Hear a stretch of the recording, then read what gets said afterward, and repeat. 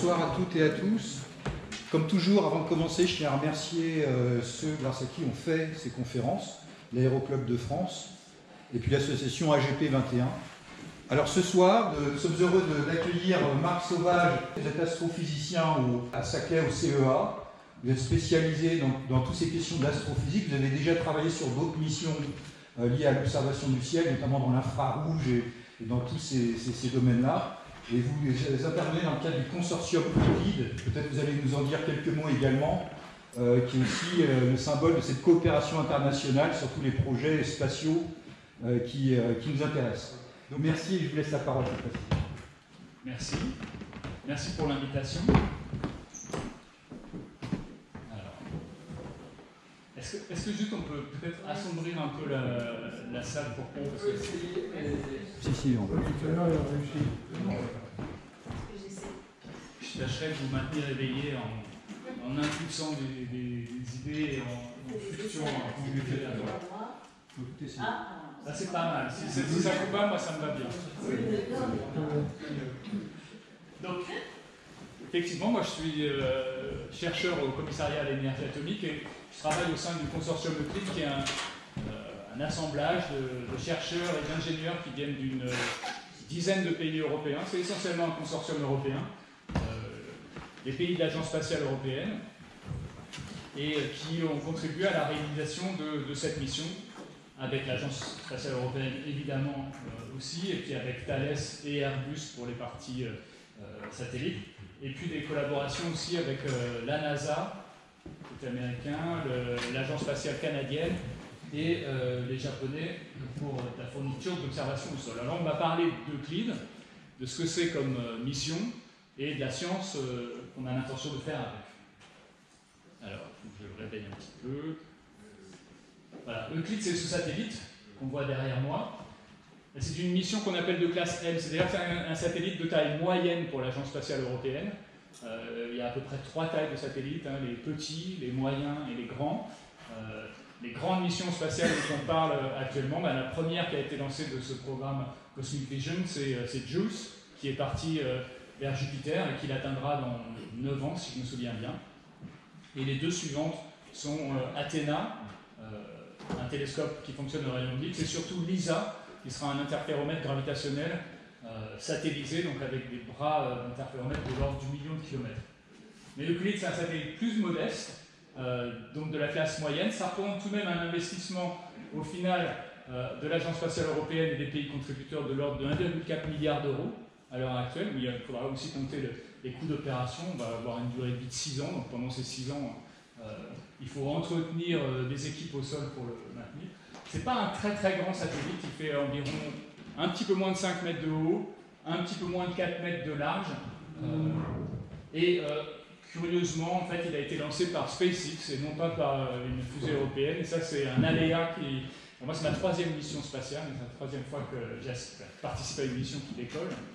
Et, c'est la première fois que je vois quelque chose comme ça. C'est-à-dire qu'on devait partir lancé par une fusée Kourou depuis, une fusée Soyuz depuis Kourou euh, dans le cadre de l'accord entre Ariane Espace et Roscosmos. Euh, euh, et puis évidemment, l'invasion de l'Ukraine par la Russie a mis fin à toute cette collaboration de façon extrêmement brutale. Les équipes russes de Kourou sont reparties. Et donc on s'est retrouvé avec une fusée Soyuz, mais à part le manuel d'instruction, rien pour la lancer. Et donc il a fallu trouver un plan B. Et le plan B originel, c'était Ariane 6 mais Ariane 6 est en retard. Euh, euh, et, malgré tout, bien que les objectifs d'Euclide soient de définir quelle est, le, quelle est, la forme et quel est le destin de l'univers, donc des choses qui ne sont pas d'une actualité absolument brûlante, euh, il y a malgré tout une, histoire de timing, et il y a d'autres missions qui se donnent ce même objectif, et donc on ne pouvait pas attendre indéfiniment la, mise à, la disponibilité d'Ariane 6. Et donc il y a eu des négociations extrêmement rapides avec SpaceX, et on est parti euh, le 1er juillet dernier, avec un lancement sans faille, absolument parfait, qui nous a emmenés à notre point d'observation, qui est le point de Lagrange L2. C'est l'endroit où vont tous les satellites euh, euh, scientifiques aujourd'hui. C'est un point qui est à 1,5 million de kilomètres de la Terre, dans la direction de l'extérieur du système solaire et qui euh, tourne autour du Soleil à la même vitesse que la Terre. il est assez pratique euh, en matière de communication. Il n'est pas tout à fait stable, hein, c'est un point d'équilibre instable du système euh, Terre-Soleil, mais ça veut dire qu'avec une manœuvre de remise à poste tous les mois, on, s'en sort très bien. Alors, je vais parler de choses noires et euh, comme matière noire et énergie noire. Et en fait, je voulais faire une petite digression euh, parce que, euh, en fait, ce sont des traductions de, deux termes qui sont des termes évidemment inventés par des anglophones, qui sont dark matter et dark energy. Et en traduisant ça par noir, en fait, on fait un petit glissement de sens. En fait, il y a une certaine erreur de physique à appeler noir des choses comme matière noire, énergie noire, et les mettre dans la même catégorie que des objets comme le corps noir, qui est euh, une, description thermodynamique, ou euh, comme un trou noir, qui est une, créature qui sort de la, relativité générale, parce que en fait, ces, deux objets, euh, le, trou noir et le corps noir, sont des objets de physique.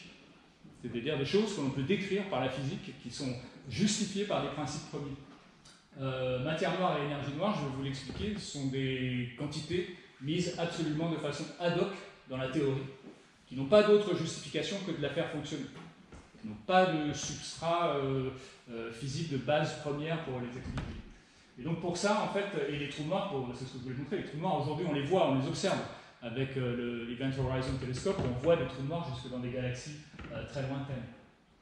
Et donc la question qu'on peut poser, c'est est-ce que, est que, pour nous, nous Français, on a choisi ce mot noir pour, parce qu'il évoque de, euh, de termes un petit peu euh, inquiétants En fait, euh, je ne suis pas tout à fait sûr parce qu'en anglais, magie noire, c'est vraiment black magic, donc c'est la magie qui s'oppose à la magie blanche. Hein, on reste sur notre domaine qui se définit. je pense qu'on devrait plutôt parler de matière sombre et d'énergie sombre.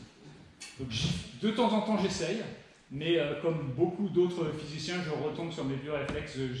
J'ai appris matière noire comme son et je vais l'utiliser. Mais je pense que le véritable terme, c'est plutôt matière sombre, énergie sombre, parce que ça, ou alors matière et énergie obscure, hein, comme Dark Side of the Moon et The Dark Side of the Force, pour ceux qui ont les, références comme moi. C'est-à-dire vraiment des choses qu'on met, mais qu'on ne sait pas encore saisir. On ne sait pas ce que ça pourrait bien être. Et c'est bien de ça dont, il est question euh, avec l'outil. Donc, le, contexte dans lequel euh, s'inscrit la, mission dont je vous parlais, c'est celui-ci, hein, c'est celui d'un univers en expansion. Alors, je dirais, peut-être pas pour tout le monde ici, mais tous ceux qui ont fait la physique, le, modèle d'univers en expansion, c'est à peu près, je dirais, établi. Nous vivons dans un univers en expansion. Alors, on comprend tous plus ou moins bien ce que ça peut vouloir dire, euh, mais le fait est que ce n'est pas une notion si, euh, si vieille de, l'établissement du fait que l'univers est en expansion. Donc, je vais revenir dessus parce que non seulement ce n'est pas une notion si vieille, mais en plus c'est une notion qui a beaucoup évolué au fil du temps et euh, n'a pas évolué vers plus de simplification, à vrai dire. La première découverte euh, qui, amène cette conception de l'univers en expansion, c'est celle de Hubble dans les années, euh, fin des années 30, qui établit que plus les galaxies sont loin de nous et plus elles ont elles ont l'air de s'éloigner vite de nous. C'est cette relation entre la vitesse apparente d'éloignement qui est proportionnelle à la distance. Alors c'est lui qui découvre ça, mais il faut bien voir que sans la mise en évidence par unité à limite de, ce qu'on appelle une échelle standard, le fait que les étoiles céphéides ont une relation entre leur période de fluctuation lumineuse et leur luminosité absolue, il n'aurait jamais pu faire ces, mesures-là. Mais bref, c'est lui qui montre, alors qu'à l'époque, le paradigme de, de l'univers, c'est un univers statique, à tel point que Einstein a modifié son équation pour qu'elle reproduise un univers statique, c'est lui qui montre que non, euh, l'univers est vaste, il est capable de mesurer des distances gigantesques, mais en plus il est dynamique. Donc, à cette époque-là, il imagine qu'il s'agit de vitesse. Aujourd'hui, on sait que c'est l'univers lui-même qui s'étend et non pas les galaxies qui se déplacent à l'intérieur. En parallèle de ça, la relativité générale se développe. Hein. Einstein l'a publié en 1915 comme formulation de la gravité. Mais c'est qu'en 1920-35 que ces quatre personnes, Friedman, Lemaitre, Robertson et Walker, utilisent la relativité générale et formulent à l'intérieur de la relativité générale un modèle d'univers. c'est la fameuse, euh, les, hypothèses homogènes et isotropes qui permettent de résoudre les équations de la relativité générale et de proposer euh, un modèle dont l'expansion serait décrite par la théorie. Et ça, c'est très important parce que ça veut dire que toute la cosmologie moderne que l'on fait, elle est cadrée par une théorie. Et ça, c'est extrêmement puissant. Ça veut dire qu'on peut faire des prédictions. La théorie peut prédire et on peut aller mesurer la validité ou non des prédictions. On est bien mieux armé que dans un domaine dans lequel on n'aurait pas de théorie sous-jacente et on serait obligé de collationner des faits et essayer de construire, euh, on va dire, une phénoménologie Dans, le cadre de ce qui est l'univers, on a une théorie fondamentale qui est la relativité générale, à l'intérieur de laquelle on cherche à établir la véracité ou non des prédictions. C'est grâce à. Donc, ça, c'est l'équation de la relativité générale, j'y reviendrai. Elle compliquée, mais elle dit les choses simples. La troisième étape, c'est en 1964 la découverte du fond cosmologique. Le fond cosmologique, c'est ce rayonnement thermique qui ressemble à un rayonnement thermique, comme si un objet doté d'une certaine température rayonnait de la lumière, et qu'on observe dans toutes les directions autour de nous, qui est détecté par deux personnes qui n'étaient pas du tout des cosmologistes, hein, Robert Wilson et Arnold Penzias, et puis qui est interprété par ces trois personnes-là comme étant le signe d'une phase reculée de l'univers où l'univers était euh, un gigantesque plasma extraordinairement chaud. Et donc c'est à partir de cette découverte-là qu'on va mettre en place ce qu'on appelle le modèle standard de la cosmologie, celui dans lequel on démarre d'un Big Bang avec un univers extrêmement dense et chaud, en très forte expansion, et qui, de fait, de son expansion, va se diluer et se refroidir. Et les observations qu'on a à l'époque de ce rayonnement, avec une précision qui n'est même pas encore extraordinaire, nous amènent à conclure que euh, l'univers est en expansion. Cette expansion a démarré extrêmement rapidement, mais que du fait de sa masse, elle est en train de ralentir et à l'infini, elle devrait s'arrêter. Parce qu'il y a juste assez de masse pour ralentir l'univers de façon asymptotique et l'amener à un état d'univers froid vers l'infini. Et cette masse, c'est la matière sombre, c'est pour ça que j'ai mis euh, la matière noire, c'est pour ça que j'ai mis Vera Rubin ici, parce que en 64, on a à la fois besoin de cette matière sombre pour expliquer la dynamique de l'univers, mais on en a aussi besoin pour expliquer la dynamique de galaxies, et c'est Vera Rubin qui a mis ça en évidence de façon très explicite. Et donc pour les astronomes, il y a une espèce de, convergence. En fait, on trouve à différentes échelles, à l'échelle la plus grande possible, celle de l'univers, et à l'échelle des galaxies, on trouve ce même besoin de matière sombre et il vient se euh, confirmer mutuellement. Donc euh, beaucoup d'entre nous, on est nés dans cet univers, un univers dont l'expansion a été rapide au départ et dont le destin était de se ralentir euh, jusqu'à s'arrêter. Mais ce n'est pas la fin de l'histoire. En 98, ces, trois personnes, en fait, qui sont les, responsables de deux groupes concurrents, font des mesures de distance avec des supernovas, c'est des, des, étoiles qui, qui explosent vers la fin de leur vie.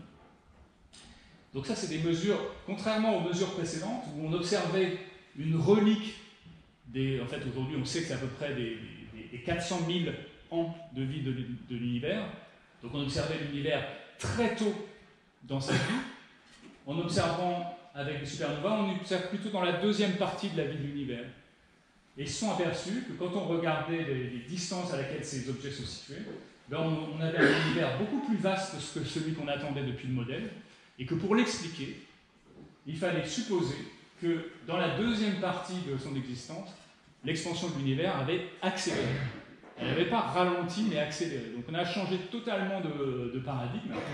Donc aujourd'hui, on, en est, là, on en est avoir un modèle dans lequel on a une phase d'expansion extrêmement rapide qu'on appelle l'inflation et sur laquelle je ne reviendrai pas du tout dans cette conférence.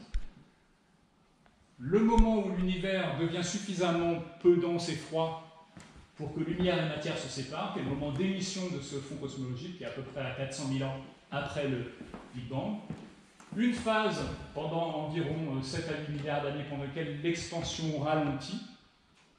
Et puis il y a euh, 7 à 8 milliards d'années, en fait, un nouveau régime qui est un régime d'accélération. Dans cette phase-là, on, avait cru comprendre que c'était la masse de l'univers qui ralentissait son expansion. On est obligé aujourd'hui de dire, ben, pour qu'elle réaccélère, il faut que quelque chose fasse pression sur la structure de l'univers. Et c'est l'énergie noire qu'on a été obligé de rajouter complètement à la main pour euh, expliquer cela. Donc aujourd'hui, c'est ça, l'état des lieux. Euh, on a un univers dans lequel tout ce qu'on est capable de voir et de mesurer, une fois converti en énergie, représente 5% du contenu en énergie de l'univers. Ce qu'on est capable de peser par l'intermédiaire de la gravité, essentiellement de la matière noire, fait à peu près 26%, et le reste de l'énergie, 70%, c'est cette énergie sombre dont le rôle, c'est d'expliquer cette deuxième phase de vie de l'univers où l'expansion, la structure de l'univers est en accélération. Donc, on a une série de faits, une source d'accélération qui est inconnue, donc on lui a donné un nom, énergie sombre, pour essayer de la faire rentrer dans la catégorie des, objets de la physique. Cela dit, euh, à nouveau, elle n'est décrite que par ses propriétés. Et ces propriétés sont ajustées pour qu'elles permettent d'expliquer la dynamique observée. Elle n'est pas introduite par le biais de principes premiers, euh, comme on a par exemple dans le, modèle standard de la physique des particules. Elle représente l'essentiel du contenu en énergie noire. Il y a à peu près 26% aussi qui est de la matière sombre. Donc en fait, aujourd'hui, on a une théorie formidable qui est la relativité générale, qui a montré sa validité à différentes échelles, mais qui, une fois placée à l'échelle de l'univers, nécessite qu'on rajoute à peu près 95% d'énergie d'origine inconnue pour continuer à expliquer la dynamique observée de l'expansion de l'univers. Ça pourrait ne pas être un problème. Après tout, la théorie marche, elle explique les observations. Pour les physiciens, c'est tout de même un petit peu gênant de d'avoir recours à autant de paramètres libres euh, que ça. Donc on se pose des questions. Quelle est la nature de la matière sombre? Alors ça, c'est pas une question qui va être abordée tant que ça en astrophysique. Euh, parce que tout ce qu'on peut donner, nous, c'est des propriétés gravitationnelles de cette matière, et c'est plutôt vers la physique des particules qu'on va se tourner pour essayer d'avoir des candidats sur ce que c'est que cette matière noire. Et là, les choses ne se passent pas très bien, parce que la physique des particules progresse à très grande vitesse, mais elle élimine plutôt tous les candidats possibles. Donc, euh, donc c'est pas très encourageant pour l'instant. Et puis, euh, nous, on va surtout s'intéresser à essayer de, paramétrer l'énergie sombre et d'essayer de mesurer expérimentalement ces paramètres. Et on a quelques pistes. Alors on peut rajouter une interaction fondamentale. Vous savez qu'il y a quatre interactions fondamentales. Euh, trois qui s'exercent à l'échelle atomique et puis une, à l'échelle macroscopique qui est la gravité. Bon, c'est pas si simple de rajouter des, interactions, et puis de, toute façon, la gravité n'est pas une interaction qu'on arrive à faire coller avec les interactions électrofaibles et, fortes. Donc, euh, on a un, problème qui va se manifester ici, j'en parlerai. On peut introduire une constante dans les équations d'Einstein, je vais montrer, euh, mais je vais y revenir, euh, qui aurait le bon goût d'expliquer l'accélération de l'univers si on l'ajuste à la bonne valeur. Euh, sauf que, en fait, ça nous pose un, nouveau problème, c'est qu'elle doit être ajustée à une valeur qui est très très différente des autres constantes de la physique. Donc ça, c'est un problème philosophique plus que physique. Après tout, les valeurs des constantes de physique sont une donnée du problème. Mais malgré tout, quand on cherche à l'interpréter, c'est-à-dire essayer de savoir d'où est-ce qu'elle pourrait venir, d'où est-ce qu'elle pourrait émerger dans le modèle, une des possibilités, c'est de l'associer avec l'énergie du vide, qui est une prédiction de la mécanique quantique. Et là, on se retrouve avec des problèmes colossaux d'ordre de grandeur, c'est-à-dire que l'énergie du vide est beaucoup trop grande pour expliquer cela. Alors, ça dit, qu'il y a un problème là aussi. Est-ce que c'est un problème de mécanique quantique, un problème de relativité générale?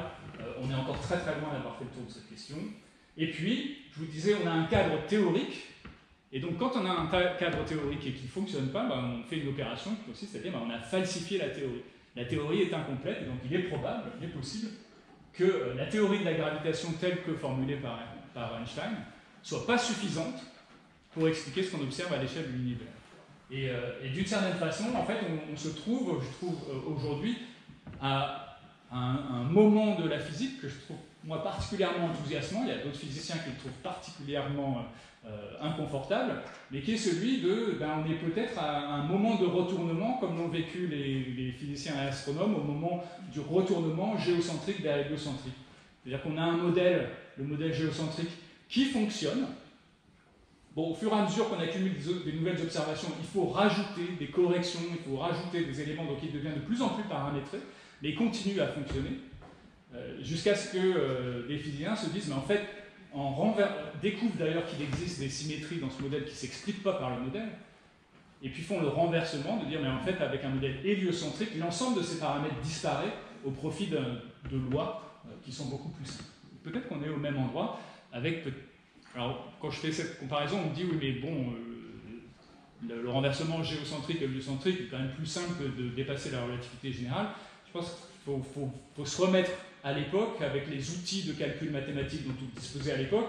Je pense que techniquement, ce renversement était sans doute du même ordre que euh, celui qu'il faudrait faire pour dépasser la relativité générale aujourd'hui. Voilà. Alors en fait, ce qu'on va faire pour essayer de résoudre ce problème, on va faire ce que font tous les musiciens, on va, les physiciens, je suis aussi musicien, mais euh, c'est l'heure de ma répétition, donc c'est sans doute pour ça que, je, ma langue fourche. On va faire ce que font tous les physiciens, c'est faire des mesures. Et, il y a une raison fondamentale pour laquelle mesurer, c'est faire de la cosmologie, c'est que l'équation de la relativité générale qui est ici, elle relie la géométrie de l'univers qui est cachée cette, dans ces variables-là qui décrivent la courbure de l'univers et dans celle-ci qui décrit la façon dont on fait des mesures de distance dans cet espace-temps, elle dit que la géométrie de l'univers et son évolution dans le temps sont reliées au contenu en masse et l'énergie de l'univers.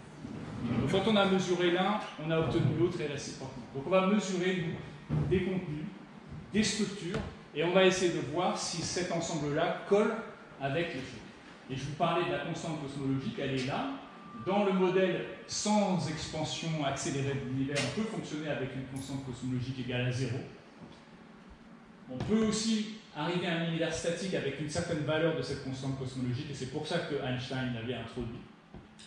Et peut-être qu'elle explique la matière, euh, l'énergie sombre, mais elle aurait une valeur qu'on n'arrive pas en fait, à faire sortir euh, de considération euh, primaire.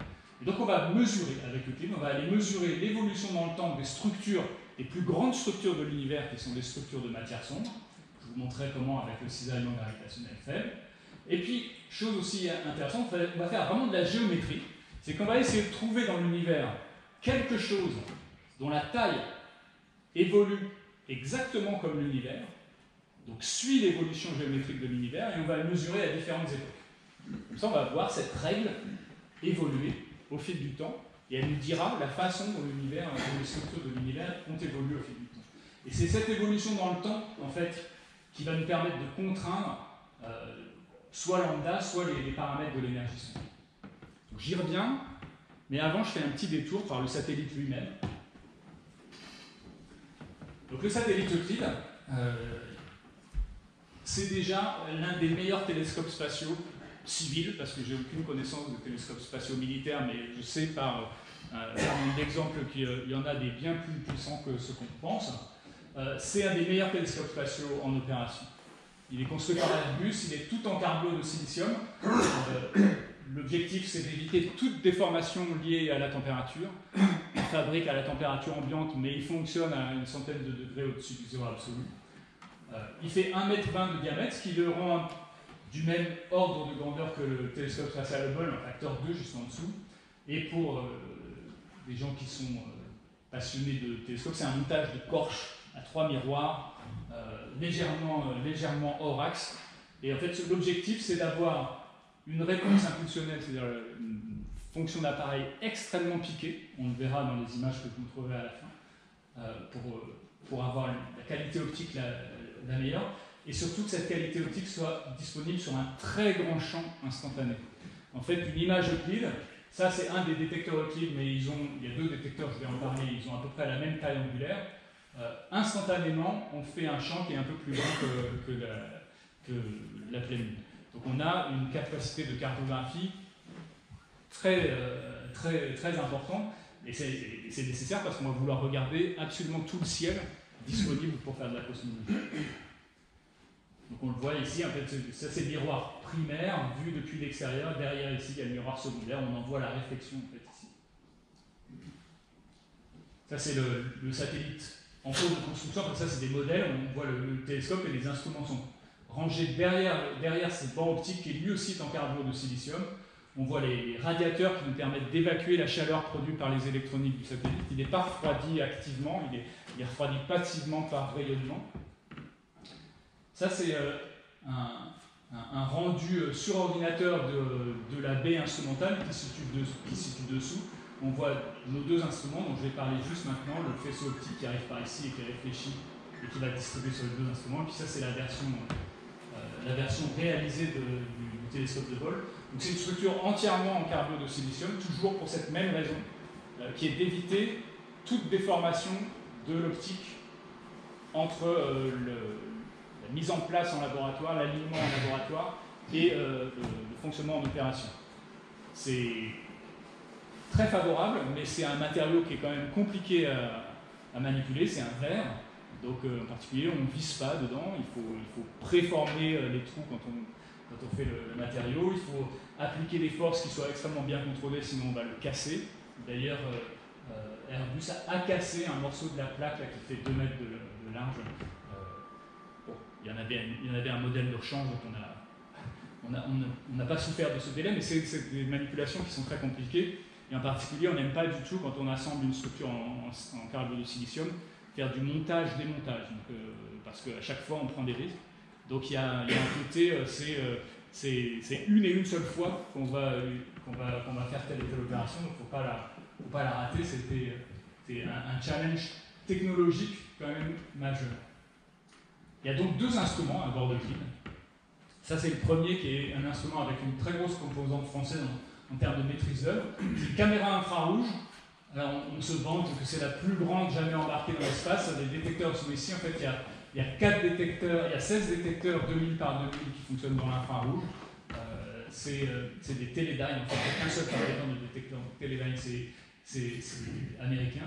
En fait, c'est aussi un instrument qui est, lui, dont la structure est en carbone de silicium, toujours pour les, mêmes raisons, aussi pour ne pas avoir des, euh, facteurs de, de, contraintes différentielles entre les différents éléments de la structure contient un bloc de détection. Et cette énorme structure ici, c'est parce qu'on va avoir des filtres pour faire des images dans différentes bandes de longueur d'onde, et aussi des, ce qu'on appelle des grismes, c'est-à-dire des, systèmes optiques qui vont disperser l'image sur le champ pour faire de la spectroscopie de tous euh, les objets qui sont dans le champ. C'est un, instrument qui était sous responsabilité du laboratoire d'astrophysique de Marseille, euh, auquel nous, le CEA, on a contribué les moteurs qui permettent de faire tourner ces roues euh, dans le vide sans frottement et, sans lubrifiant à des températures de l'ordre de 40 euh, à 50 Kelvin. Et puis le deuxième instrument, il est beaucoup plus simple. Euh, c'est l'instrument visible euh, qui s'appelle VISE. Et lui, son objectif, ça va, être de faire des, des, images des galaxies. On va vouloir mesurer la forme des images des galaxies. Et pour être le plus fidèle possible à ce qu'on voit, il n'y a quasiment pas d'optique. Il n'y a que l'optique du télescope et depuis le télescope, on arrive directement sur le plan de détecteur, c'est-à-dire 36 CCD 4000 par 4000. Ce n'est pas la plus grande caméra visible euh, jamais envoyée, le satellite Gaia qui fait de l'astrométrie, qui mesure la position des étoiles. Il a une caméra qui fait 106 détecteurs 4000 euh, par 4000. Alors nous, on peut se vanter d'être la seule qui transmet toutes ces données. Euh, Gaia va transmettre qu'une partie de ces données. Et au total, en fait, je ne l'ai pas mentionné, on descend à peu près 800, entre 800 et 850 gigabits de données compressées par jour. Euh, c'est assez conséquent comme, euh, production. C'est un, instrument qui était sous responsabilité anglaise, mais auquel le CEA a énormément contribué. On a fait tout le design de la structure et on a fait l'assemblage, ce qu'on appelle l'intégration euh, de l'instrument. Et en fait, il y a un troisième instrument sur Euclide, qui est un assemblage de, de télescopes au sol. Il y en a, en fait, là, on a listé 6, mais il y en a 6 ou 7 on va, avec cela, faire d'autres images des galaxies pour avoir non seulement les images qui nous viennent de l'espace, mais en plus des données de photométrie, c'est-à-dire des mesures, des points de mesure dans d'autres gammes de longueur d'onde, pour arriver à faire presque un spectre, on appelle ça la distribution spectrale d'énergie, c'est-à-dire la quantité d'énergie émise par les galaxies en fonction de la longueur d'onde, ce qui nous permet de repérer leur distance. Je vais expliquer ça donc voilà, donc on a un satellite qui fait essentiellement des images et des spectres. Et euh, peut-être que vous vous posez la question, quel est le lien entre ça et euh, la cosmologie, la mesure de l'univers? On ne va pas observer le rayonnement, euh, le rayonnement du corps noir cosmologique. comment on va faire? Et donc on va faire avec ce qu'on appelle nous des sondes cosmologiques. C'est-à-dire qu'on va essayer de mesurer des choses qui sont liées à la forme de l'univers. La première de ces choses, c'est peut-être la plus simple à expliquer, parce qu'elle s'appuie sur des termes que vous connaissez déjà. On va utiliser l'effet de lentille gravitationnelle. Donc ça c'est un film, hein, c'est une, simulation numérique. Euh, vous le savez peut-être, donc dans la relativité générale, la présence de matière localement déforme la structure de l'espace-temps. La lumière se propage en essayant de toujours trouver le chemin le plus court dans cet espace-temps déformé, et ce qui fait que quand on observe des objets lointains avec entre nous une structure très massive, cette structure très massive fait lentille et elle va déformer les images des objets qui se trouvent derrière. Ce qu'on voit ici, ces arcs qui bougent, c'est une fiction hein, parce qu'on ne peut pas se déplacer aussi vite autour d'un amas, mais admettons, ce sont des images de galaxies qui sont situées derrière l'amas de galaxies. Toutes ces, galaxies à, à dominante jaune, ce sont des galaxies qui forment un amas, une structure liée par la gravitation qui est extrêmement lourde et massive elle déforme l'univers localement et la propagation de la lumière à travers cette zone de l'univers qui est déformée eh bien, se fait de façon très différente de ce qu'elle pouvait se faire à la périphérie et crée des images distordues des galaxies. Ça, c'est un film, mais ce n'est pas de la fiction, ça, c'est la réalité. C'est une image faite par le, Space Telescope Hubble d'un amas de galaxies. on trouve à nouveau les, galaxies qui ont cette couleur un peu laiteuse blanche, ce sont des galaxies de la main, c'est comme ça qu'on a réglé la balance des couleurs dans cette image. Donc ce sont des galaxies qui sont toutes situées à la même distance de nous et qui orbitent les unes autour de, l'autre dans une structure qui est liée par la gravitation, une structure qui est très massive.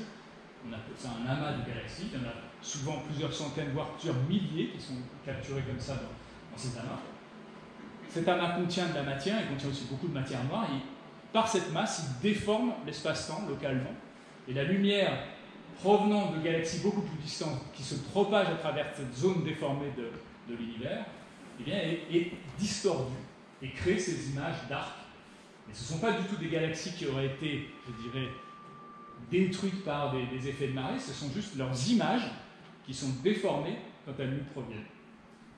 Pour reprendre le, schéma, c'est celui-ci, c'est ce, qui pourrait, ce expliquer par exemple un mirage gravitationnel vous avez une structure massive ici qui génère une déformation de l'espace-temps.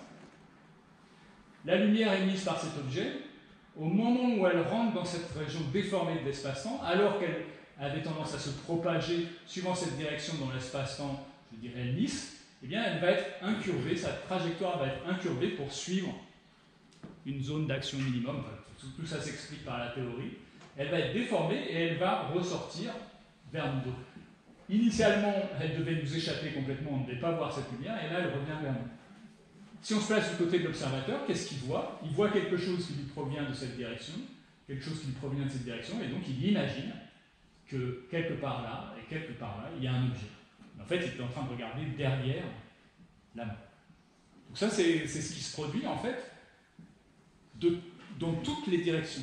Évidemment, pas avec cette force-là, mais l'univers étant rempli de matière, et cette matière n'étant pas distribuée de façon exactement homogène, nous regardons l'univers à travers un espèce de, verre imparfait qui déforme toutes les images de galaxies. Il ne les déforme pas énormément. Typiquement, la déformation qu'on va observer avec Euclide, c'est des déformations de l'ordre du pourcent. Donc elles sont absolument indécelables à l'œil nu, d'autant plus qu'on n'est souvent pas capable de dire à quoi devrait ressembler une galaxie. Quand on observe ce genre de choses, on se dit, oui, là j'observe quelque chose de déformé. Mais quand on observe une galaxie dont l'image a été distordue de l'ordre du pourcent, euh, on n'est pas capable de la, reconnaître. Je vous propose de faire l'expérience, vous prenez une photo de quelqu'un et vous diminuez le rapport d'axe de, de, cette photo de l'ordre d'un pour cent. C'est pas facile de repérer qu'il s'est passé quelque chose. C'est ça qui se passe dans l'univers. On est entouré d'un réseau on est à l'intérieur d'un réseau de matière noire qui est distribué de façon légèrement inhomogène, et ce réseau-là déforme la totalité des images des galaxies que l'on peut observer. Et c'est ce qu'on va chercher à mesurer. En fait, ça c'est à nouveau une simulation, c'est une simulation d'un morceau d'univers dans lequel ce que vous voyez en rouge plus ou moins vif, c'est la structure de matière noire telle qu'on la simule aujourd'hui. Et on va observer des galaxies quelque part dans cette structure dont le rayonnement lumineux nous parvient en traversant toute cette structure. Il va être donc modifié par la forme de l'espace-temps à travers lequel il voyage. Ces, galaxies vont voir leur image légèrement distordue et on va mesurer cette distorsion.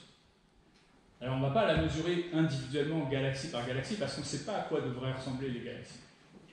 Donc euh, pour mesurer une déformation, il faut savoir d'où on part. Donc on va être astucieux, on va faire des statistiques. Hein. Les physiciens, quand ils, quand ils ont une inconnue, ils vont essayer de faire une statistique pour, euh, pour se débarrasser de la chose qu'ils ne connaissent pas. donc nous, l'hypothèse que l'on fait, c'est que les galaxies dans l'univers sont distribuées par rapport à nous de façon aléatoire. C'est-à-dire que les galaxies sont plus ou moins des disques. Là, c'est des disques qu'on voit dans une orientation qui peut être quelconque, aléatoire. Donc si j'observe une série de disques, je mesure le rapport d'axe que je vois, c'est-à-dire le rapport entre le grand axe et le petit axe. Et que cette population elle a été distribuée de façon complètement aléatoire par rapport à moi, je devrais voir un rapport d'axe à peu près égal à 1. C'est-à-dire que la probabilité que j'ai plutôt euh, des choses déformées dans un sens que l'autre n'existe pas, je n'ai pas de direction privilégiée. Mais si je regarde un ensemble de galaxies qui sont déformées systématiquement par la même quantité de matière, eh bien dans la moyenne, je vais voir apparaître cette signature, comme une légère asymétrie, une déformation dans une certaine direction. Et c'est ce qu'on fait sur ce genre de carte, c'est-à-dire que ces, petits vecteurs, ces petits vecteurs blancs, ils disent, eh bien dans cette direction, quand je fais la moyenne des formes des objets, elle est déformée, elle est alignée suivant cette direction avec telle et telle intensité. Donc on a comme ça une carte des déformations statistiques autour de nous. Et comme on va faire l'interprétation que c'est la relativité générale qui explique tout ça, et qu'à l'intérieur de la relativité générale, ce qui explique la déformation, c'est l'existence sur la ligne de visée de quantité de matière, bah, je peux remonter à la quantité de matière.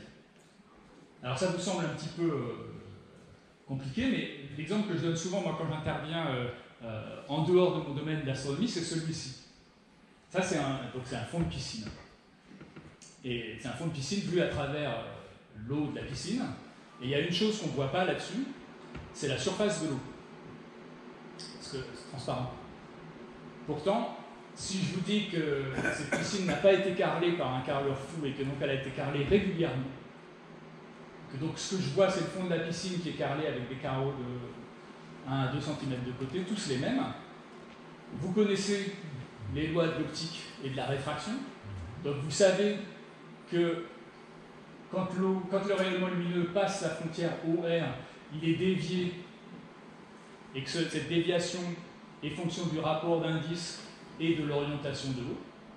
Avec cette physique-là et le fond de la piscine, vous pouvez calculer la forme de la surface de l'eau.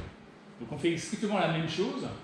On a une théorie qui nous dit comment la lumière va être déformée, par quoi, et de ce fait, en observant cette déformation, on reconstruit la quantité de matière qu'il y a entre nous et les objets qu'on regarde. On va faire un truc un petit peu plus astucieux, c'est qu'au lieu de regarder, euh, de, calculer cette déformation sur toutes les galaxies qu'on peut voir dans une certaine direction, en fait, on va s'intéresser à celles qu'on peut voir à une certaine distance, puis à une distance plus grande. Donc on va faire des tranches d'univers. Faire ce qu'on appelle la tomographie, c'est-à-dire reconstituer la quantité de matière qui est entre nous et une certaine époque, puis nous et une époque plus éloignée, et ainsi de suite sur une dizaine d'époques. Et, c'est pour ça qu'on a besoin de toutes ces images de galaxies, des images faites à différentes longueurs d'onde, parce que la couleur des galaxies, c'est un premier indice de l'époque à laquelle elles se trouvent. Donc c'est comme ça qu'on fait nos populations, et on va comme ça reconstituer la distribution de la matière noire à différentes époques son histoire, l'histoire de, l'histoire de la croissance de ces structures et comment ça, ça peut être lié à l'évolution de l'univers lui-même. Ça, c'est donc notre première sonde dans laquelle justement on travaille, on exploite le fait que la matière noire qu'on observe elle a tendance au fil du temps, par attraction, à amplifier les irrégularités de distribution, elle, exerce son poids sur son environnement, mais l'énergie noire, elle, a tendance à s'y opposer et elle le fait de façon différente suivant l'époque euh, de l'univers. Et en retraçant cette histoire, eh bien, on obtient des contraintes sur ces, sur ces objets. Alors, quand on n'a qu'une seule sonde, on a beaucoup d'ambiguïté sur, la façon dont il faut interpréter les observations qu'on va faire. Et c'est pour ça qu'on en a au moins une deuxième principale. Donc ça, c'était juste pour montrer que c'est des choses que l'on fait déjà du sol. Ça, c'est une carte de matière noire faite depuis le sol, mais c'est sur des tailles euh, beaucoup plus petites. Hein. Là, il y, a, à peu près 15 degrés carrés, enfin, il y a 15 degrés dans ce sens-là, un petit peu moins dans, celui-ci. Donc on est très très loin de faire tout le ciel. C'est impossible de voir tout le ciel depuis un endroit du sol. Euh, on voit un hémisphère. Euh, on va faire tout le ciel et en plus sans l'atmosphère pour pour nous perturber. Mais c'est une technique qui fonctionne. Et quand on corrèle cette carte de matière noire avec la carte des amas de galaxies, ben on s'aperçoit que sur les régions les plus intenses, c'est là qu'effectivement on trouve les amas de galaxies. Donc on a indépendamment euh, une confirmation qu'on est en train de voir des véritables structures dans l'univers. Et l'information cosmologique, elle est dans les propriétés statistiques de cette carte.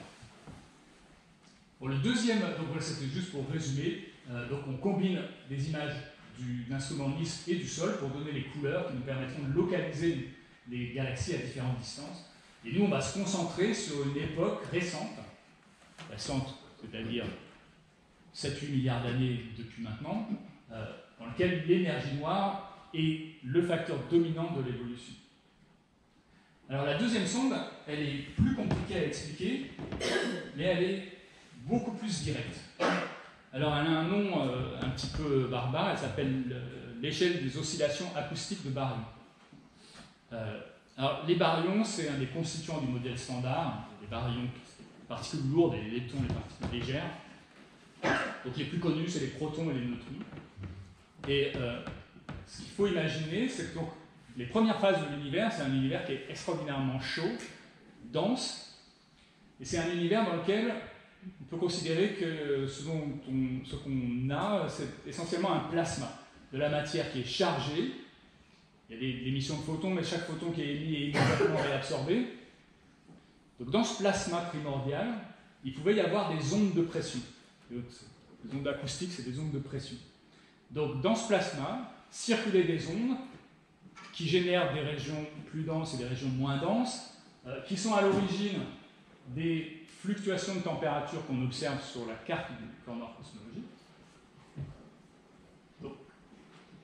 et les propriétés de ces ondes, on peut imaginer, hein, si vous avez un, plasma dans une boîte, et il, va avoir des fréquences propres qui dépendent des dimensions de cette boîte, des ondes qui peuvent être stationnaires à l'intérieur et d'autres qui, ne, le sont pas, qui vont avoir des interférences destructrices.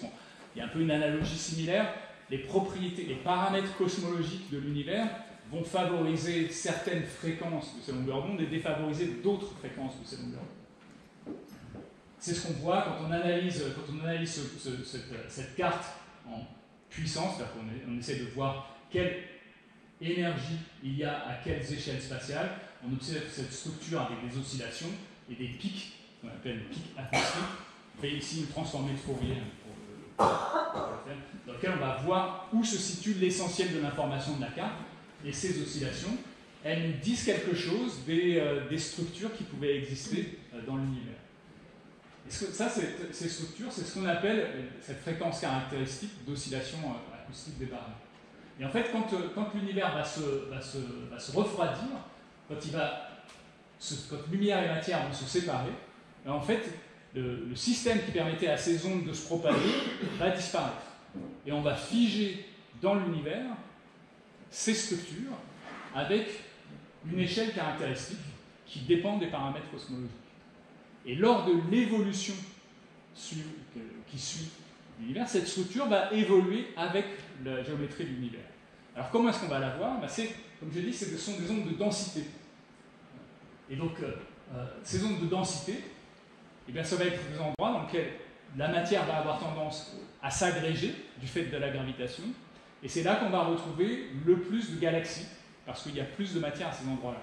Et donc, ce qu'on va faire, en fait, on va mesurer les positions, cette fois-ci, vraiment précises des galaxies, non pas à quelle distance elles se trouvent de nous en termes génériques mais en termes approximatifs, mais vraiment à des distances précises, de telle sorte à pouvoir faire mesurer la position relative de galaxies les unes par rapport aux autres. Donc on va faire une espèce de carte à trois dimensions de l'univers, de l'univers, quand il avait à peu près entre 7 et entre, quand il avait à peu près entre, entre 7 et 10, 12 milliards d'années, avec évidemment pas toutes les galaxies de l'univers, mais une, fraction qu'on espère représentative. Et de cette distribution 3D, on va mesurer la probabilité de trouver deux galaxies séparées par une distance donnée en fonction de la distance. Dans un univers qui est parfaitement homogène, on va trouver une courbe qui est très très lisse, qui dit simplement qu'il bah, n'y a pas, d'échelle caractéristique dans l'univers. Mais dans notre univers, qui n'est pas si homogène que ça, dans lequel se sont figées ces structures de densité qui sont liées aux propriétés cosmologiques euh, de l'univers, eh en fait, il y a un excès de probabilité à une certaine distance. Et c'est cette distance caractéristique, cette échelle caractéristique, cette fréquence propre des oscillations baryoniques que l'on observe. Et elle, elle évolue avec la structure de l'univers et elle est toujours mesurable du fait que des galaxies se sont formées dans ces structures. Donc on peut la mesurer aujourd'hui, on peut la mesurer il y a un milliard d'années, on peut la mesurer il y a 5 milliards d'années, il y a 10 milliards d'années. Alors évidemment, euh, c'est pas si simple que ça, parce qu'il y a des biais qui se rajoutent, il y a des galaxies qui se forment ailleurs. Est-ce que, les galaxies que l'on observe tracent bien la masse? Mais malgré tout, c'est le principe. Le principe, c'est d'aller observer quelque chose qui nous trace l'existence de cette structure, de cette taille caractéristique euh, qui est liée aux propriétés de l'univers. Voilà, on la voit par exemple dans, les, si on regarde, ça c'est une simulation numérique, ben, déjà votre œil est capable de distinguer qu'il y a une taille caractéristique dans ces, structures. On voit bien qu'il y a une espèce de maille dans ces simulations numériques. Et cette maille, qui évidemment est relativement large, ben, cette maille, elle est, liée aux conditions initiales et aux paramètres cosmologiques qu'on est observé. Donc c'est ce qu'on va faire. On va observer, euh, je ne l'ai pas dit tout à l'heure, mais pour faire la cartographie du cisaillement gravitationnel, on va observer à peu près, on va mesurer à peu près entre 1 et 2 milliards de galaxies dans le ciel. Et pour faire cette euh, mesure d'échelle de, caractéristique, on va obtenir la position 3D d'environ 30 millions de galaxies. Alors pourquoi on fait moins de galaxies comme ça que C'est parce que pour mesurer ces positions à trois dimensions, il faut faire des spectres. Il faut utiliser le décalage spectral et repérer des raies pour identifier proprement la distance, la position des galaxies, alors que dans le premier cas, il suffit de couleurs, donc d'images, pour arriver à localiser approximativement les objets. Et c'est toujours plus compliqué de faire un spectre que de faire une image, parce qu'on va disperser la lumière, et donc on est moins sensible. Alors le, point clé de CLIT, c'est que si on fait que des observations, euh, il nous reste encore beaucoup d'ambiguïté à lever. On a l'intérêt à nouveau, qui est d'avoir une théorie qui cadre l'ensemble, qui est la relativité générale, et à l'intérieur de laquelle on peut faire des simulations. Et donc, toute l'exploitation d'Euclide va, va consister à observer, déduire de ces observations des informations liées à la cosmologie, et en parallèle simuler, simuler ces observations, en fait, à partir de points de départ qu'on va se choisir, et essayer de voir quelles sont les simulations qui collent ou non avec les observations. Et ça, c'est un effort très très conséquent, c'est des simulations absolument énormes qui ont démarré en fait pratiquement en même temps que, le développement du satellite et, qui sont extrêmement ambitieux. On en voit, on en une ici, donc on retrouve, vous retrouvez, euh, ce que l'œil est capable de voir très facilement les structures, vous trouvez que ces simulations montrent toujours l'existence d'une certaine maille caractéristique hein, qui est cette échelle d'oscillation. Alors, le kit, c'est un satellite qui est construit pour faire la cosmologie. Alors, je ne peux, peux, évidemment pas vous dire quelle est la réponse euh, aujourd'hui. Euh, on, a, décollé en juillet euh, et les observations pour couvrir tout le ciel, ça va nous prendre 6 ans à peu près. On, fait pas, on, on a un satellite cosmologique, mais on ne fonctionne pas vraiment comme les satellites cosmologiques, je dirais, standards fonctionnent, c'est-à-dire en balayant le ciel de façon très régulière et puis comme ça pendant des années. Nous, on est vraiment un observatoire, c'est-à-dire qu'on va observer une direction donnée pendant une heure à peu près, puis se décaler, aller observer à côté, et ainsi de suite. Et malgré notre grand champ, pour arriver à couvrir tout le ciel qu'on appelle extragalactique, c'est-à-dire de part et d'autre de la Voie lactée et de part et d'autre du plan écliptique, c'est à peu près un tiers du ciel, il va nous falloir presque 6 ans d'observation sans jamais revenir au même endroit, ce qui est un problème en plus mathématique très intéressant, qui nous a posé euh, pas mal de, soucis, qui est d'essayer de trouver quel est le chemin qu'il faut prendre dans, sur la voûte céleste pour arriver à couvrir tous les points du ciel, sans jamais avoir à revenir au même endroit, tout en respectant les, contraintes de pointage imposées par la, thermique sur le Saturne. Et donc, on va observer comme ça un tiers de la voûte céleste, avec euh, une précision d'image absolument extraordinaire. Donc, on ne va vraiment pas faire que de la cosmologie. On est intéressé à des galaxies que je vous montrerai dans les, premières images qui sont très intéressantes cosmologiquement, mais assez peu du point de vue de l'astrophysique, parce qu'elles sont situées très loin, elles ne sont pas résolues. Il y a peu d'informations sur elles à part leur forme et leur distance. Mais évidemment, tous les objets de l'univers qu'il y a entre nous et euh, cet univers lointain sont dans le ciel. Et donc on va les observer aussi. Et on va faire de la science avec aussi. Et donc l'impact d'Euclide, il va se mesurer non seulement sur le fait qu'on sera peut-être capable de dire qu'il est impossible que la constante cosmologique d'Einstein explique la dynamique de l'univers, mais il va aussi se, mesurer par toute la science qui va être produite sur d'autres objets euh, qui peuvent de l'univers, comme euh, les amas de galaxies à des décalages spectraux qui sont tels qu'on les observe dans la première partie de la vie de l'univers. Aujourd'hui, on en connaît à peu près un millier, on en connaîtra 500 000 quand on aura fini le, relevé Euclide. Ce qu'on peut voir aussi, c'est que par exemple, pour des galaxies à des. Alors, Z égale 6, on est dans les, dans les premiers 20% de, la vie de l'univers. Bah, aujourd'hui, on en connaît 400, on en connaîtra 400 000 quand, euh, quand, on aura fini de relever Euclide. Donc, on va avoir un effet de, de, de x10 voire x100 sur des très grande catégorie de population d'objets astrophysiques. Et là, ça va vraiment avoir un impact très très fort sur la science qu'on sera capable de faire.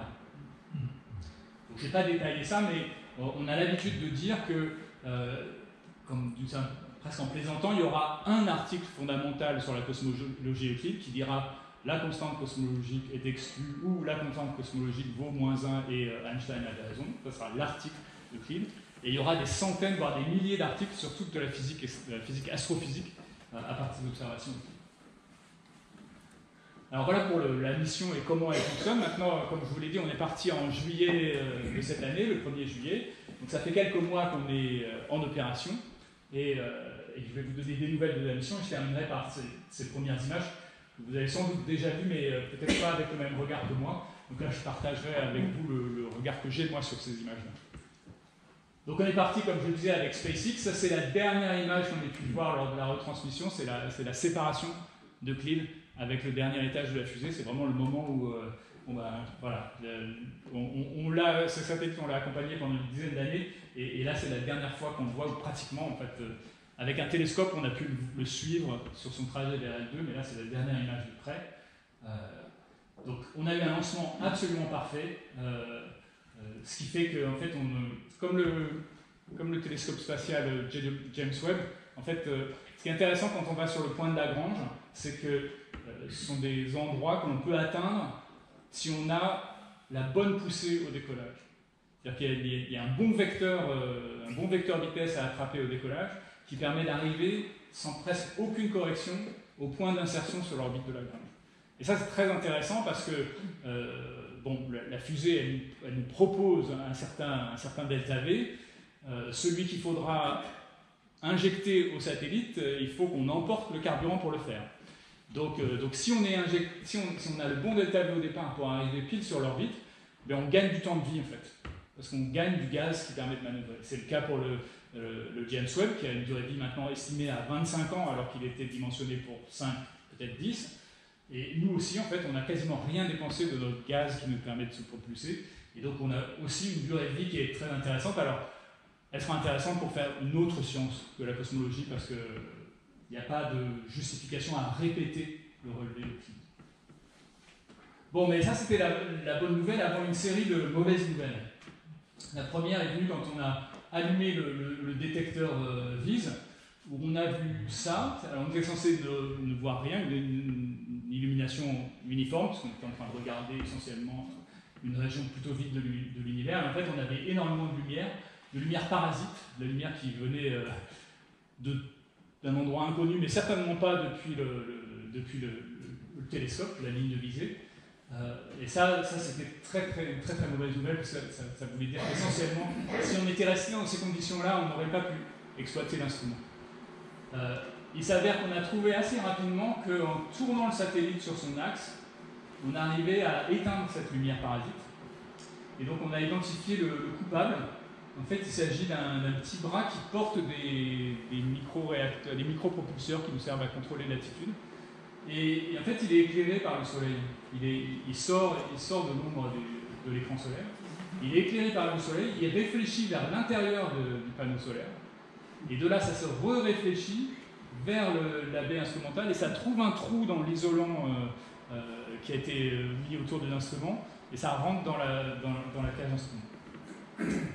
Alors, on n'est pas très content de ça parce qu'on l'avait vu, enfin, l'équipe satellite l'avait vu, ce petit bras parce qu'il était, comme il était éclairé, il était aussi chaud et il rayonne sur euh, le radiateur euh, d'un des instruments. Donc on avait étudié son impact en termes thermiques, mais, euh, visiblement au niveau satellite, il n'y a personne qui a dit ah, mais s'il est, est chaud, s'il est chaud parce qu'il est éclairé, il réfléchit de la lumière aussi. Et donc où est-ce qu'elle va? Ça, je pense qu'on aurait pu s'en passer. Le fait est qu'il suffit de se tourner d'environ 5 degrés sur cet axe pour s'en protéger ça a l'air euh, comme ça. Alors, en fait, c'est plus compliqué que ça parce que ça nous donne une nouvelle contrainte de pointage, c'est-à-dire qu'à tout instant donné, il faut qu'on ait le soleil à 90 degrés dans cette direction, il faut qu'on soit tourné sur cet axe de 5 degrés, et donc ce que l'on peut voir dans le ciel à un instant donné, ça, change, c'est limité et ça change, et donc il nous a fallu recalculer l'ensemble du relevé euh, Euclide pour, satisfaire à cette nouvelle contrainte. La, deuxième mauvaise surprise, c'est que, en fait, en, récupérant des données, on s'est mis à voir des choses comme ça dans le détecteur visible. Donc là, on, a vraiment eu euh, euh, des, sueurs froides, jusqu'à ce qu'on réalise qu'en fait, ce qu'on voit là, c'est euh, une radiographie du, panneau, ici. J'ai ici, on voit le panneau solaire. C'est une radiographie du panneau, on voit la structure en nid d'abeille hein, de, de, cet objet. Et en fait, quand le soleil à des éruptions, il émet des flashs de rayons X, et, euh, les CCD, c'est des très bons détecteurs pour les rayons X. Et donc, euh, malheureusement pour nous, en fait, ces rayons X, ils, arrivent à trouver une séparation entre les deux panneaux de cellules solaires qui est transparente. Et, de ce fait, euh, ils arrivent directement sur le détecteur qui se situe derrière. Là aussi, on n'est pas super content parce que, personne n'ait pensé à se dire, et au fait, euh, les CCD c'est sensible aux rayons X, est-ce qu'on est complètement isolé des rayons X C'est quand même un peu un problème. Euh, ce que ça veut dire pour nous, en fait, les CCD sont de très bons détecteurs pour les rayons X, donc ce pas des détecteurs qui sont gênés fondamentalement par les rayons X. Une fois que le flash est passé, on continue à détecter la, lumière visible qui est notre objectif. Donc ça veut juste dire qu'il y a des données qu'on va perdre parce qu'elles sont perturbées par, un flash X du Soleil. C'est embêtant parce qu'on est plutôt dans une phase de montée d'activité, mais on va atteindre le pic d'activité solaire d'ici un ou deux ans, donc on va repasser après dans une, phase plus, euh, plus, calme. Et ça, ça va rentrer dans ce qu'on appelle notre budget de perte. Quand on calcule un, observatoire comme ça, on est obligé de, de, dimensionner de telle sorte qu'une certaine fraction des données qu'il va prendre soit perdue pour tout un tas de raisons.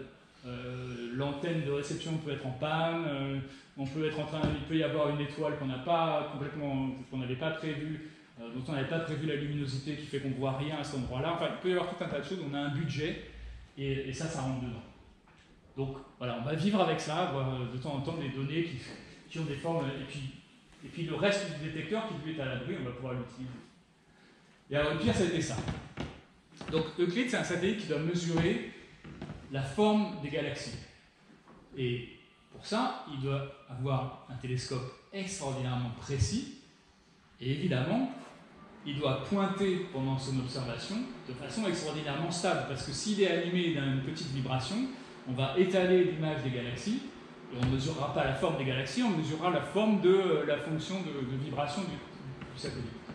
Et de temps en temps, notre système de guidage se mettait à faire ça. Donc ça, c'est des étoiles, c'est la, trajectoire d'une étoile sur le plan focal pendant une observation. En fait, notre système de guidage avait euh, par moment des... passé en mode panique, euh, perdait sa capacité à reconnaître des étoiles sur lesquelles il s'accrochait, euh, et, puis, faisait n'importe quoi jusqu'à ce qu'il abandonne complètement et qu'il remette le satellite en, position de, de, sûreté. et ça de façon assez aléatoire en fait. Et on l'a tracé, ce problème, aux, rayons cosmiques. Alors, les rayons cosmiques, ce sont des particules qui sont présentes essentiellement en provenance du Soleil et qui tapent dans les, détecteurs et qui laissent une partie de leur énergie dans les détecteurs, qui font un signal. Et en fait, le, système de guidage qui s'accroche avec des. qui, a un triple système, dont le dernier étage sont deux détecteurs CCD qui sont situés dans le plan focal, mais ce système-là, en fait, il n'était pas assez robuste par rapport au taux de rayons cosmiques euh, qu'on récupère. Donc euh, là, c'était vraiment un gros problème qui, a fait qu'on a arrêté la mise en route de, l'instrument pour que l'industriel recode en fait son, logiciel, nous propose une nouvelle version de, logiciel qui soit plus robuste à ce problème spécifique de rayons cosmiques. C'est le cas. c'est pour ça qu'on a pu faire les images que, je vais montrer. mais ça a été quand même un, un moment un moment très inquiétant parce que, parce que ça avait un caractère aléatoire.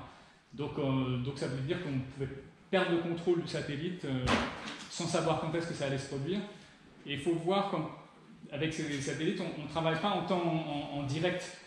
On est toujours, en fait, on va envoyer une séquence d'observation, on va laisser le satellite la faire, et puis un jour, et dans le, dans le cas de Euclide, c'est euh, en fait 15 jours plus tard, c'est comme ça la, prévision, et eh bien on regarde ce qui s'est passé. Euh, donc, euh, donc la perspective que quelque part dans cette quinzaine, le satellite passe en mode panique et se mette à attendre, euh, c'est pas gérable du tout. Heureusement, donc ça c'est quelque chose que l'industriel a réussi à, corriger. Donc maintenant on a un satellite stable. Donc je vais pouvoir terminer avec les premières images. En fait, j'en ai, j'ai pas extrait les, je vais pas passer sur les cinq, mais sur des qui sont spécifiques de, de, de parle un peu de la cosmologie, en tout cas on voit un peu la cosmologie. Donc l'objectif avec ces images, c'était d'essayer de trouver une façon de montrer la performance d'Euclide, non pas par des chiffres, euh, on peut le faire, mais c'est pas très parlant des chiffres, mais en, utilisant le, côté esthétique des images qu'on est capable de produire.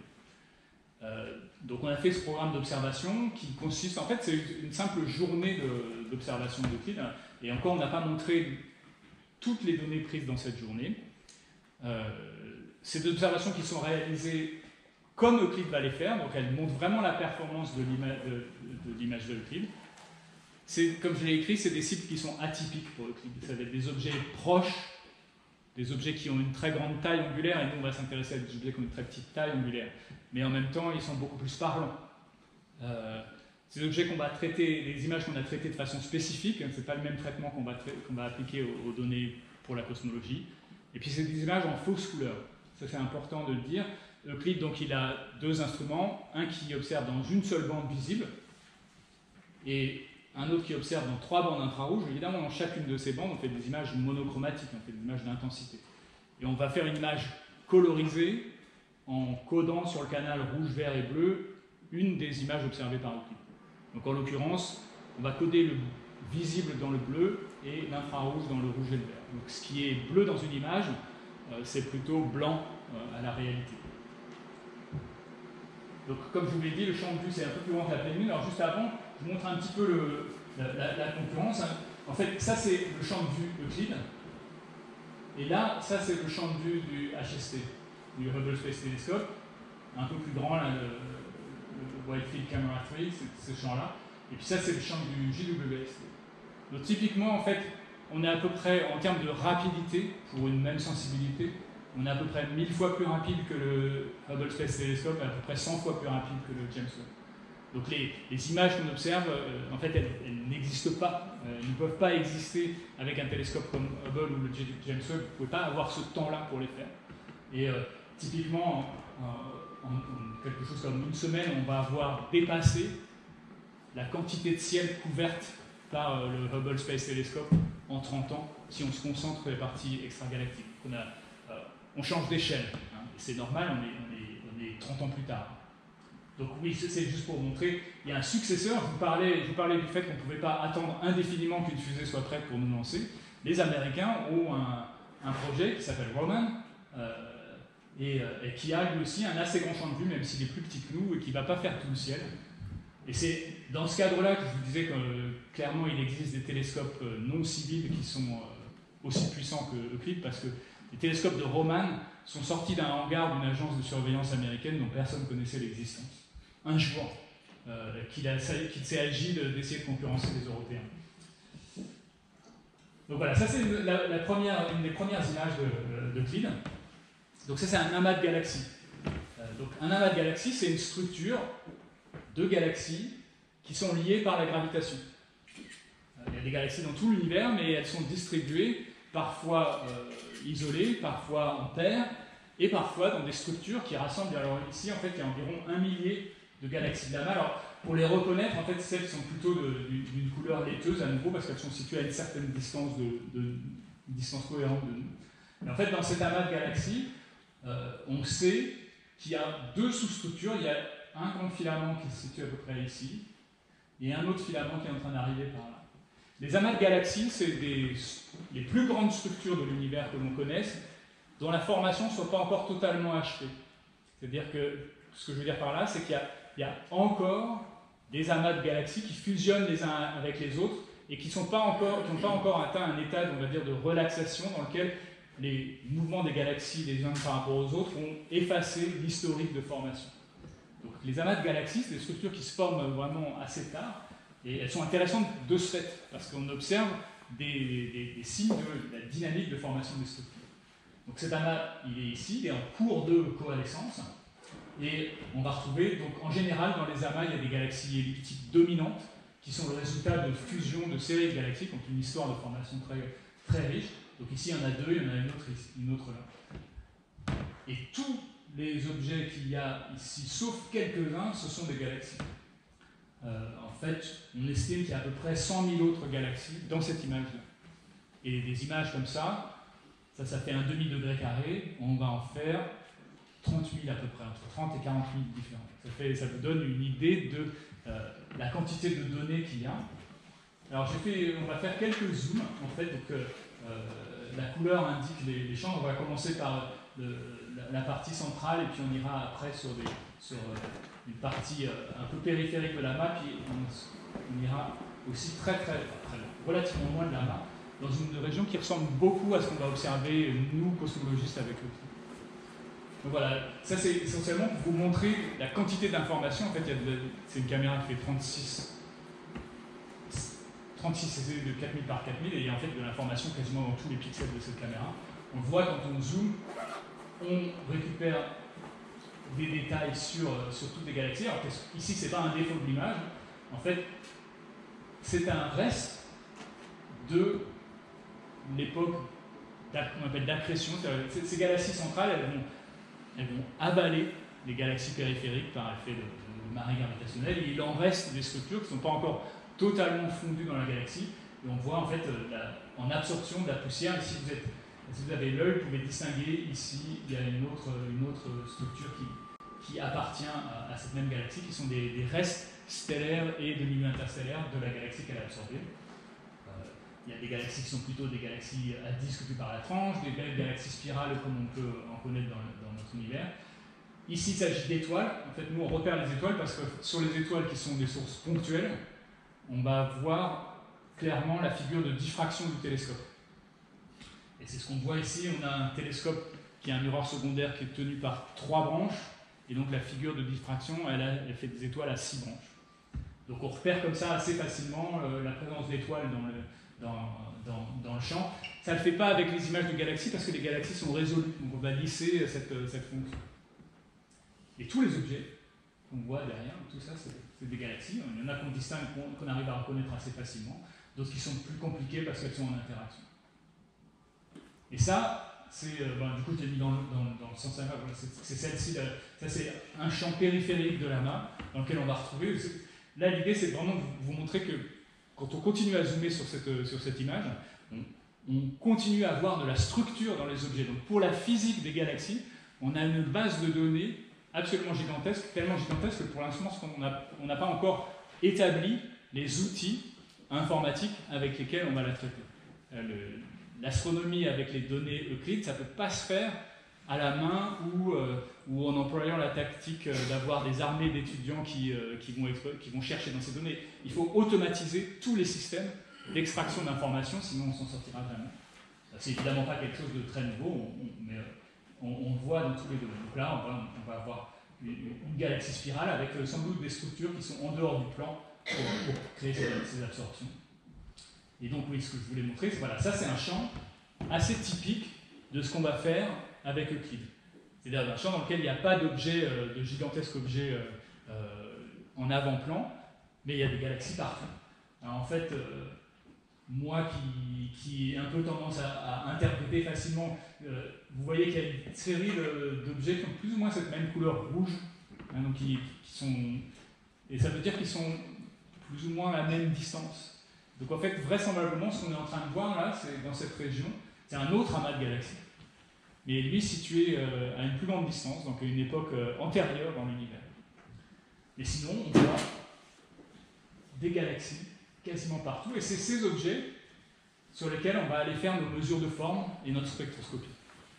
Donc c'est les objets qui intéressent la cosmologie avec Euclide, c'est les moins intéressants, je dirais, visuellement parlant, euh, mais c'est ces objets qui tapissent euh, le fond des missions de l'univers et qui nous renseignent sur, euh, ben, sur tout ce qu'il peut y avoir entre nous et eux. certains vont être à des décalages spectraux qui, qui, les amènent à être à la moitié de l'univers, d'autres aux deux tiers, et ainsi de suite.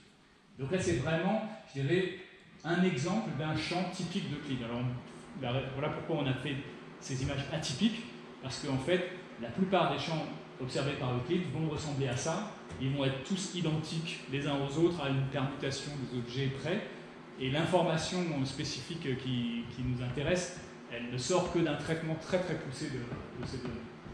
Et vous voyez qu'on va retrouver dans, cet univers lointain ben, des amas des objets qui sont en interaction, visiblement là il y, a des, un groupe, des galaxies qui sont déjà des galaxies avec une structure bien formée, euh, vue de face ou vue sur la tranche, tout, cet univers-là va être à exploiter.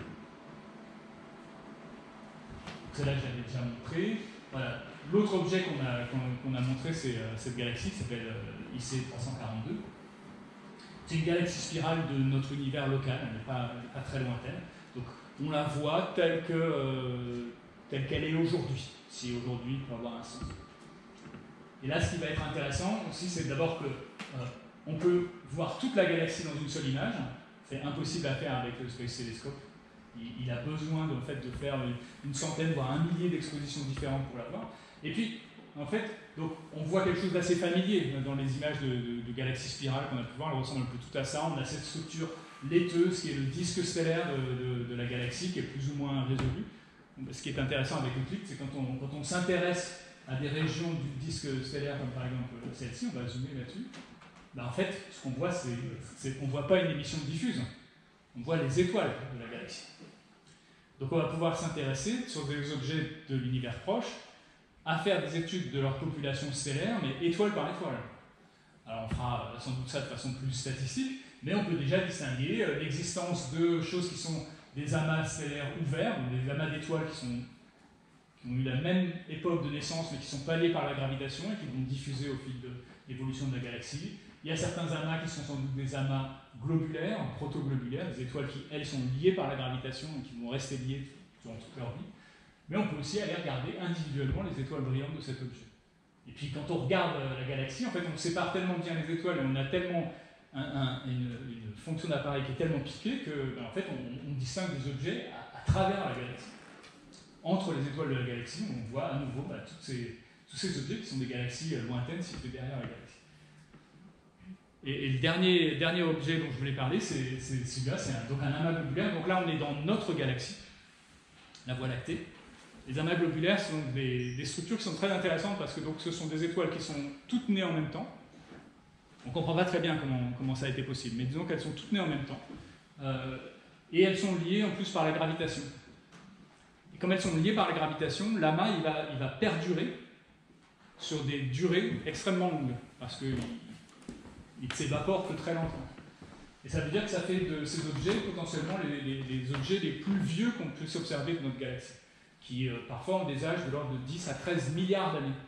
Donc ils nous renseignent sur euh, ben, l'état de notre galaxie à sa formation.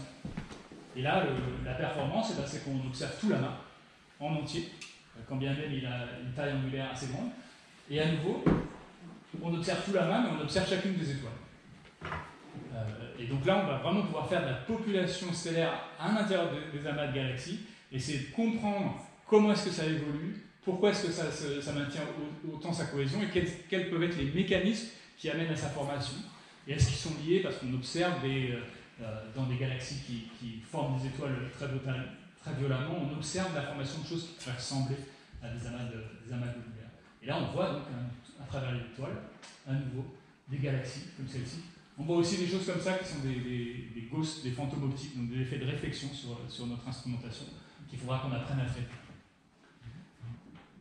Si vous voulez voir plus d'images, il, y a, il, y a, ce site et je vais donner mes, mes transparents. Donc, euh, il suffit aussi de faire, euh, de chercher sur, euh, sur internet Euclid ESA mission et vous tombez sur les, les press releases de l'ESA avec aussi la possibilité d'utiliser une application qui s'appelle ESA Sky qui permet de, de voyager dans l'image et de, de, de mettre par-dessus d'autres observations qui sont disponibles sur ces, sur ces mêmes données. Et euh, pour terminer, voilà, c'est le calendrier de publication. En janvier 2024, on va revenir avec la suite euh, de, ce programme Early Release. Il y aura d'autres observations euh, disponibles et on va les rendre publiques aussi pour toute la communauté astronomique. Et après, on a un calendrier de publication de nos données. Donc en mars 2025, on va publier 50 degrés carrés, c'est-à-dire à peu près une centaine d'images de, de champs profonds Euclide. Et puis, on embarquera après dans la série de publications par étage de tout le relevé. Donc, la première année des données publiées en 2026, mars 2026, les trois premières années du relevé en 2028 et la totalité du relevé en 2031. Voilà, je vous remercie de votre attention.